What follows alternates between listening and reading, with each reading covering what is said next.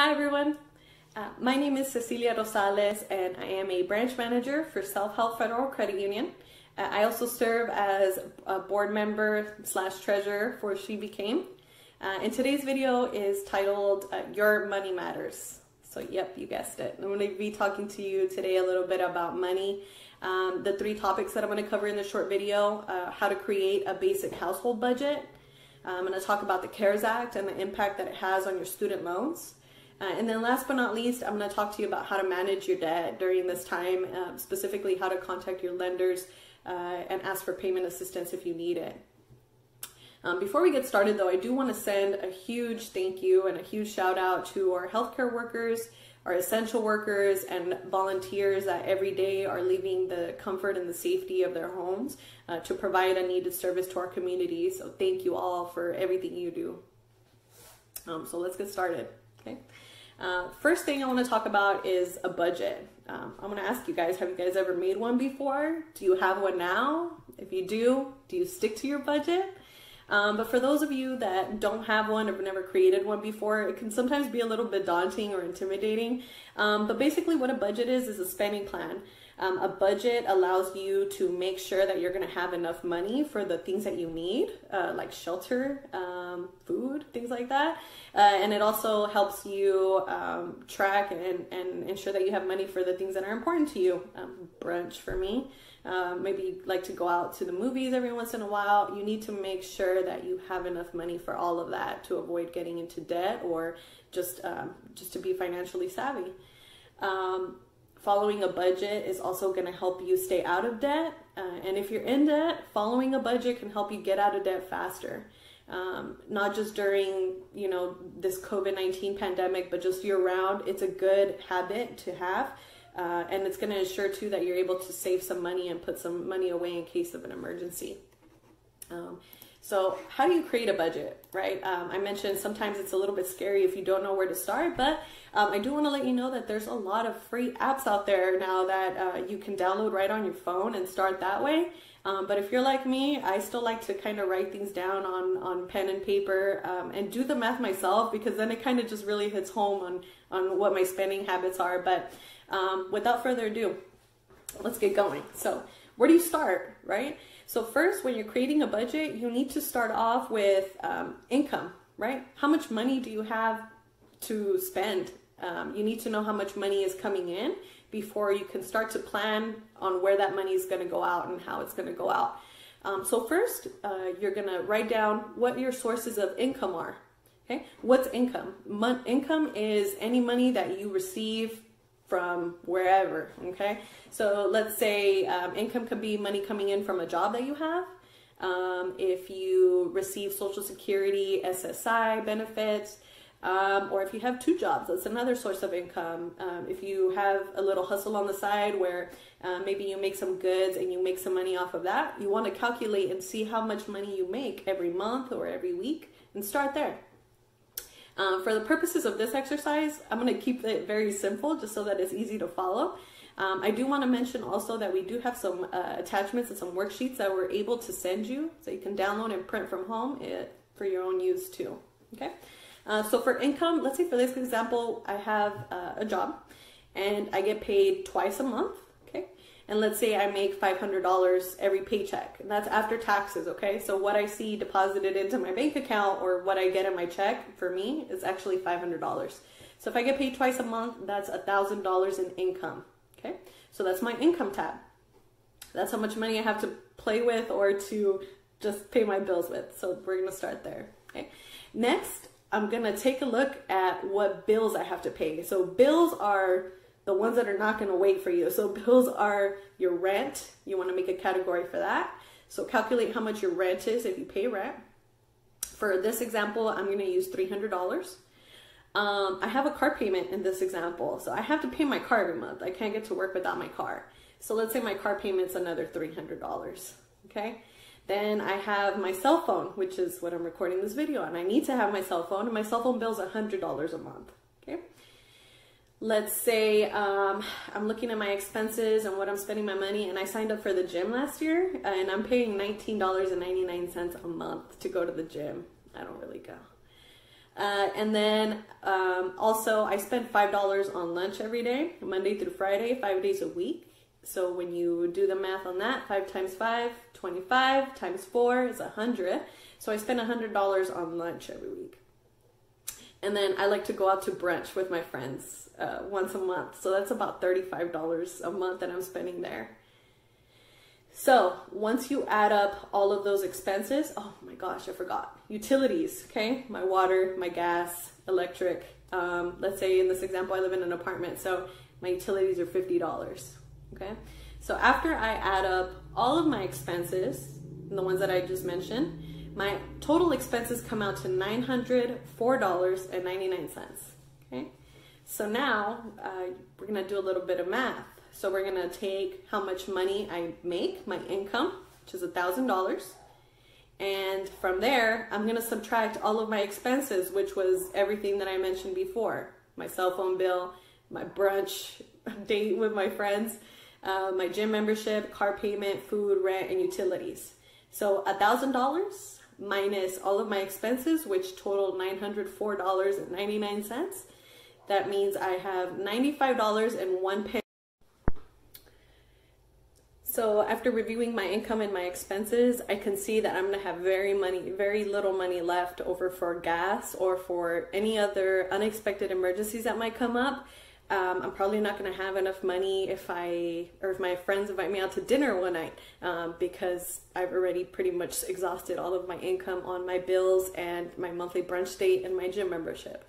So if you're in a situation where after you look at your income and your expenses and there's very little money left over or you're not comfortable with how much is left over and you'd like to see more, um, then there's things that you can do to see what expenses can you cut or what expenses can you lower so that at the end of every month you have more money left over. Um, you want to try to put some money away in a savings account also. Um, I know for a lot of people it's it's just sometimes you just can't do it, um, but it's something that you should strive for or a goal that should definitely be in your financial plan because um, if something were to break down with your car, you don't want to get into debt in order to have to fix it. You want to be able to try to at least have some money in your savings account so that you don't put yourself in a hole.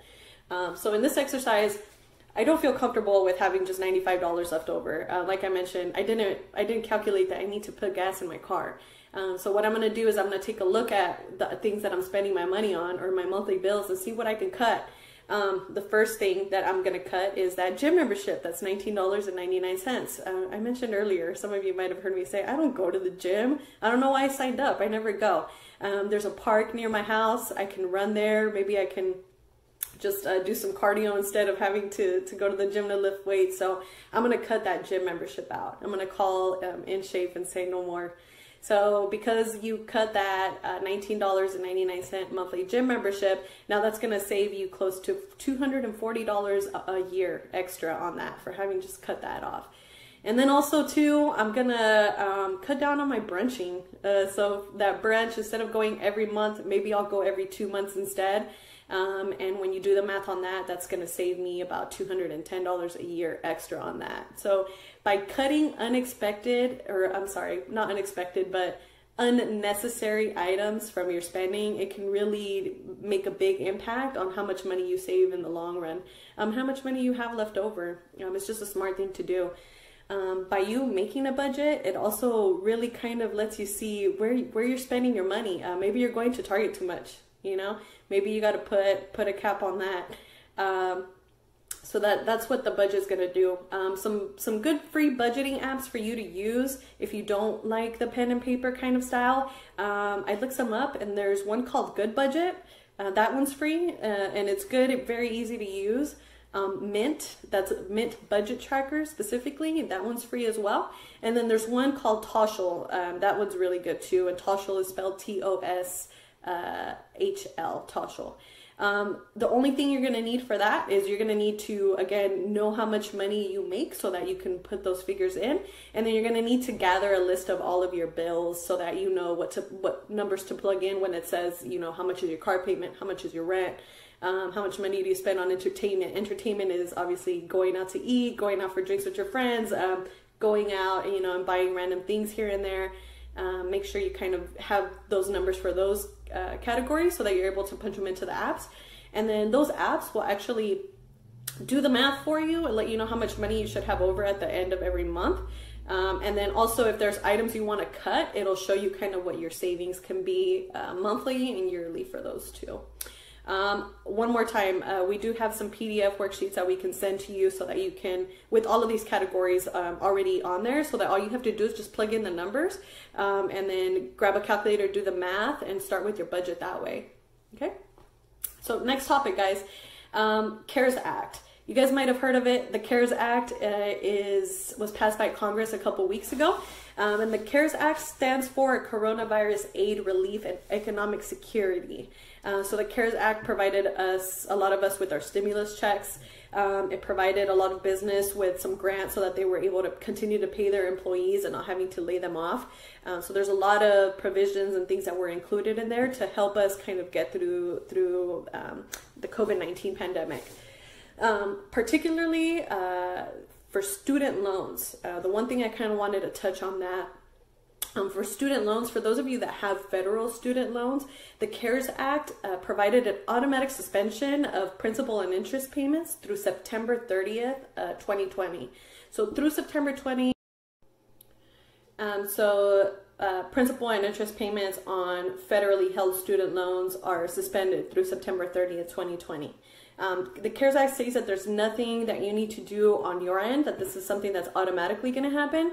However, for private, non federal student loans, and these are the ones that are a service, or I'm sorry, owned by banks, credit union, um, the schools themselves, or other private entities, um, they unfortunately, uh, that provision was not covered for them.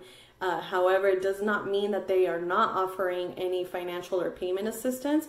So, for those of you that um, have private student loans, I highly encourage you to contact your servicer and ask to see what, if any, programs or assistance they're offering. Okay, which is actually a nice um, uh, follow through to the next topic how to manage your debt uh, and ask for payment assistance from your lenders.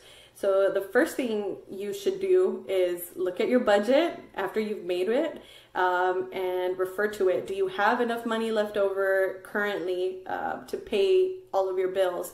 So if you were someone that was affected um, from the COVID nineteen pandemic in in the manner that your hours were cut, if you were uh, furloughed, laid off, or if you were you're now unemployed and relying on unemployment benefits to get through, um, you want to revise your budget and see now with the limited the limited income that you're going to have or the revised amount that you're going to be receiving from your income is that going to be enough to pay your bills?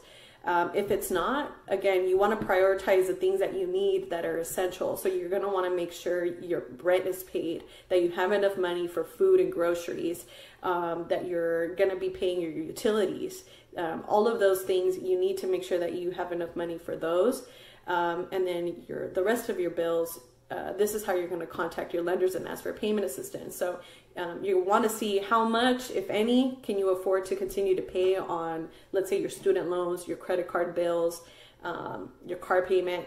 If and if you're not going to have enough money to cover all of it or just a portion of it, you want to make sure you know how much can you actually afford to pay on your bill. Um, so let's say, for example, uh, my car payment. Uh, we I mentioned that in my budget, my car payment's three hundred dollars a month. Um, if I'm in a situation where my hours were cut and now I'm not going to have enough money to make my car payment, I'm going to look at my budget and let's say I can only afford to make a hundred dollar payment on my car payment this month. Um, then what you're going to want to do is you're going to want to contact uh, the lender that has the auto loan in this example and let them know what's going on and why you're not going to be able to make the full car payment that month. Um, something that you should have ready to go because more than likely, more than not, likely not, they're going to ask you to have this ready is something called a hardship letter, uh, and you're gonna they're gonna ask that you get this from your employer. And a hardship letter, all that it is, is something that is written from your employer or from wherever you get your source of income, saying that because of the COVID 19 pandemic or for whatever reason, um, your hours have been cut, or that you were laid off, or that you were let go, and when your expected return to work date is if you have one. Um, so, something very simple, it should have your name on it, um, it should be from your employer.